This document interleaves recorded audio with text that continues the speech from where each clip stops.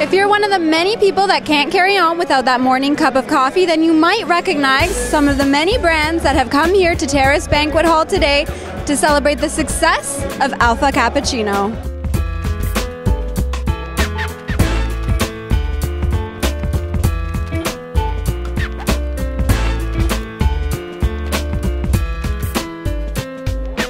How long have you been a customer of Alfa Cappuccino? Oh, quite a, a long time, and um, I've been a customer for like a, a long time. And uh, the, the stuff is great. The, the machine, the coffee, it's one I suggest it to everybody. You know, the product is excellent. It's uh, one of the best so far I try, uh, including even uh, the salespeople, uh, the, the you know Ross. Uh, they are all wonderful, wonderful people to to to deal with them.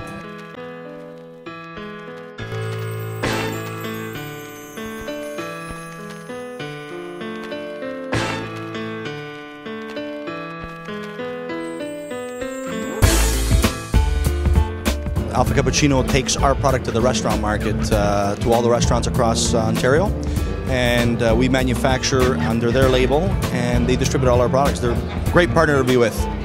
On behalf of Ross, Sam, and the entire family at Alfa Cappuccino, please accept our donation to Von in Motion.